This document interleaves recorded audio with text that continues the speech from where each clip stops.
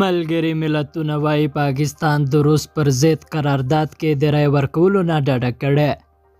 لیدونکو السلام علیکم ستړي مه شئ پام وکړئ تازه مهم خبر ته پاکستان په ملګرو ملتونو کې د روسیې پر ضد وړاندې کړای شوي قرارداد کې رایه یا ووټ نه دی ورکړی او په ملګرو ملتونو کې د پاکستان استازي منیر اکرام ویلي، دوی د اوکراین په معامله تشویش څرګندوي، د نړیوال قانون او د ملګرو ملتونو د موافقې سره سم د دې شخړې هواری د وخت ضرورت دی. د ملګرو ملتونو د عمومي اسمبلۍ په بیړنۍ غونډه کې منظور شوي قرارداد کې د روس نه غوښتنه شوې ده چې د یوکراین نه د پوځ په فوري توګه وپاس کړای شي.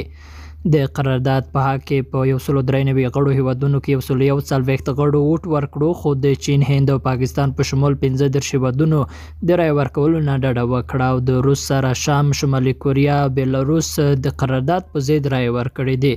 په دې قرارداد کې په یوکراین د روس حملې د غندنې په ځای د روس د زړورتیا غندنه شوې ده او ورسره د روسیې ولسمشر ولادیمیر پوتین لخوا جهوري پوځ ته د تیار اوسیدو د پریکړې هم غندنه شوې ده. د پاکستان د دې دریځ په اړه د پاکستان سرکري خبري ادارې ترمخه په ملګرو ملتونو کې د پاکستان استازي منیر اکرام د چهارشنبې په ورځ غونډې ته وینا وکړه او وویل چې پاکستان به د یوکراین په موجوده حالاتو د تشویش څرګندونه کوي او دا د سفارتي ناکامۍ ښکارندويي کوي.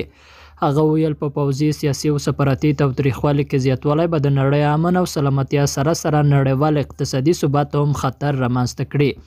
د پاکستان صدراعظم عمران خان د فبرورۍ په اته ویشت مه قمي په ټلویزیوني وینا کړې خو د یوکراین په اړه یې څه نه دي ویلي. عمران خان هم په هغه ورځ د روسیې په دوره و کله چې روسي ولسمشر په اوکراین د حملې اعلان کړی و. درنو لیدونکو له ملتیا مو مننه کوم ښاد اوسئ